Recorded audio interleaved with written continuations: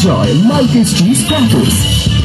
Mm, aku matruf harus মায়ের শেষ বিদায়ে বাজলো ব্যান্ড। ডিজে আনন্দ উল্লাসে পরিবারের সকলে মিলে শেষ যাত্রায় সামিল হলো। মানিকচকের কামালপুর অঞ্চলের ঠাকুরপাড়া এলাকায় এক অদ্ভুত ঘটনার সাক্ষী রইল আজ। পাড়ায় কেউ বলতো ঠাকুমা, আবার কেউ বলতো দিদা। দিদাই আজ শেষ বিদায় নিল এই পৃথিবী ছেড়ে। তবে এ কোনো দুঃখের কাহিনী নয়, এ যেন সকলের মাঝে উল্লাস আনন্দের দিন। রানী মণ্ডল বয়স আনুমানিক একশো দশ বছর।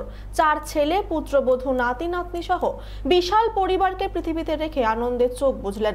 তাই পরিবারের সকলে মিলে আনন্দ উৎসবের মধ্য দিয়ে, আবিরের রঙে হরিনাম কীর্তনের মধ্য দিয়ে শেষ যাত্রা সম্পন্ন করল মানিকচক মহাশাসনের দিকে। এ বিষয়ে রানী মণ্ডলের বড় ছেলে জ্যোতিষ মণ্ডল কি বললেন শোনাবো আপনাদের?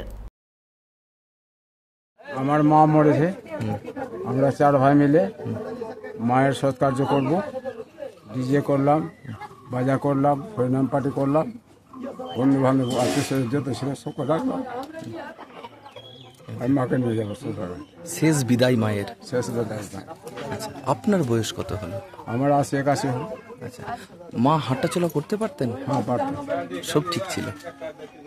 তারপর হঠাৎ করে কি হলো? ওটা তো বিধি বিধান ভগবান ওর ডাক চলে গেল। আচ্ছা।